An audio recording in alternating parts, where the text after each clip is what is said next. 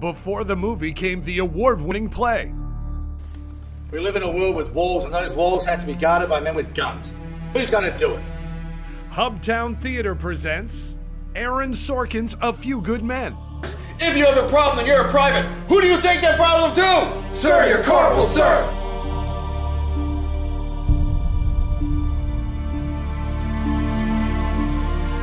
Because I trusted you. Two guys that were going to do six months are going away for 20 years between them. Because I trusted you.